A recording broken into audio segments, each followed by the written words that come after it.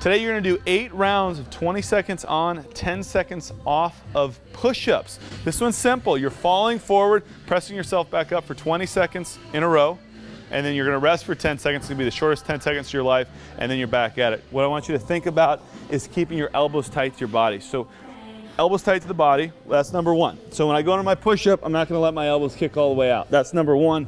Number two is I wanna think of falling forward. So I'm here, I'm falling forward, elbows stay tight to my body, and I press back up. You will get tired here. You're gonna have to like worm your way up, which is totally fine. So you get in here, you kind of worm it up. Just do us a favor today. Keep your butt squeezed to protect your back. Do as many push-ups as you can in 20 seconds, rest for 10, do it eight times.